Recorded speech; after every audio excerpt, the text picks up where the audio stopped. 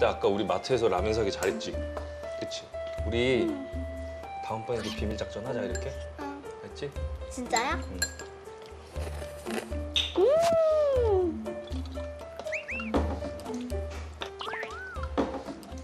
지아 먹고 싶죠 또 저거 보니까.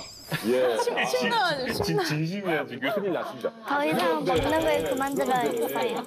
저는 또 궁금한 게 이겁니다. 그럼 영상 보니까 아까 뭐 봉지라면도 드셨죠? 실은 컵라면도 이제 드셨죠? 그럼 갑자기 궁금해지는데 같은 라면이라도 뭐가 더 살이 찔까요?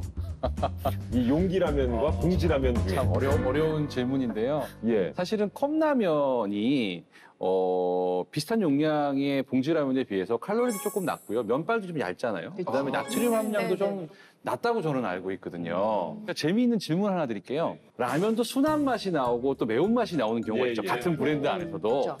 이 순한 맛과 매운 맛 중에서 어디가 나트륨의 함량이 많을까요? 매운맛. 당연히 매운 맛 매운맛이겠죠. 아닐까요? 그렇게 생각들을 네. 다 하시죠? 네. 예. 그렇게 뻔한 거면 제가 뭐 아닌가 보다. 여쭤봤겠습니까? 아닌가 봐. 정답은 순한 맛에 나트륨이 조금 더 많습니다. 아 순한 맛이 많다고요?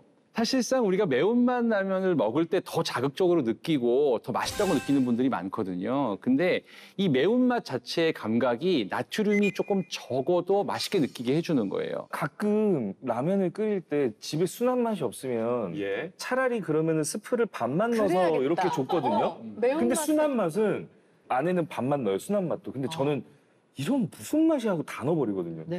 어. 내가 맞아 맞아. 차라리 매운맛 절반 넣는 게 더 낫다는 그, 얘기네. 그러네. 내가 나쁜 짓 했다. 지아 미안하다 야.